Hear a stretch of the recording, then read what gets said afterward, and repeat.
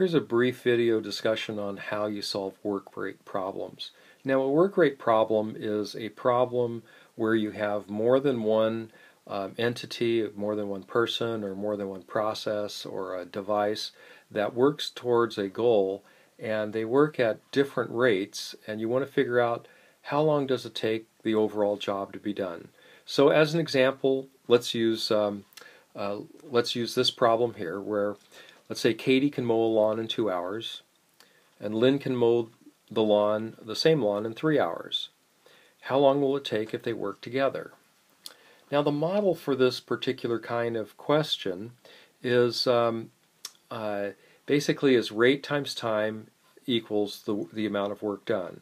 So if you do something, let's say, if you can, uh, let's say you're eating a bowl of soup and you take five bites per minute, and you're going to then, that's your rate, and you're going to do that for 10 minutes, you're going to be taking 50 bites. Okay, and so this is the, the basic um, equation. Now we don't have a rate for anybody here, and so we have to establish what the rate is, and that's really where the kind of the tricky part of these kinds of problems come in. So we're going to say that, a, that the rate is the work done divided by the time. So if we look at Katie's rate, she does one job, in two hours. So her rate is one half a job per hour. Now Lynn's rate is a little different. She does one job in three hours, so her rate is slower. It's one third of a job per hour.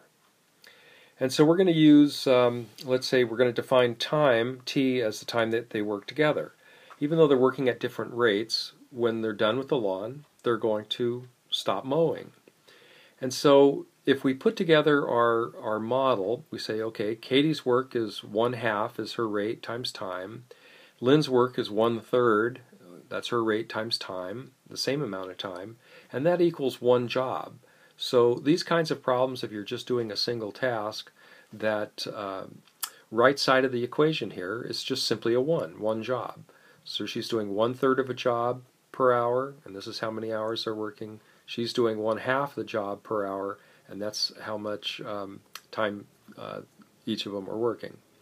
So then here we have one third t plus one or one half t plus one third t equals one, and so this is an equation that we can solve just the way it is. One way that we can do it is we can take both sides and multiply it by the uh, common denominator, which is 2 times 3. And so when we multiply 2 times 3 times 1 half, you actually get 3. So the first expression is, the first part of this equation is 3t. And then we're going to take 2 times 3 times 1 third, and the 3's cancel, so we get 2t. Now we have 1 times 2 times 3, and that equals 6. And so here we have this nice tidy integer equation, 3t plus 2t equals 6. And so we add those together, we get 5t equals 6. And so the amount of time that it takes is 6 fifths of an hour. Now a fifth of an hour, if you take 60 divided by 5, that's going to be 12 minutes is a, is a fifth of an hour. So we're going to be working, or they're going to be working together at 1 hour and, and 12 minutes. So you answer the job with a complete sentence, and you get, they can do the job together in 1 hour 12 minutes. Now, for the purposes of this class, if you answer this as t equals 6 fifths of an hour, that's perfectly fine. Okay, the, the units of time, uh, the answers that I'm looking for, uh, really integer ratios are, are exact, they're unambiguous, and so we can just stop there. We don't have to worry about um, you know, converting it into a decimal or hours and minutes and, and that sort of thing. So that should be adequate.